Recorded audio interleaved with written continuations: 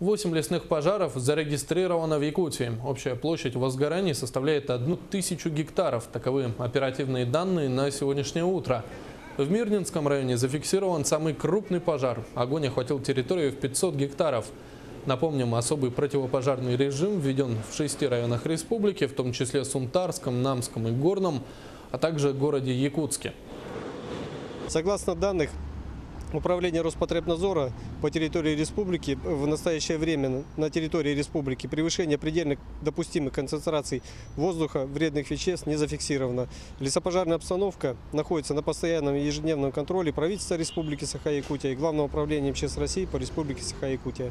В настоящее время угрозы населенным пунктам и объектам экономики от лесных пожаров нет.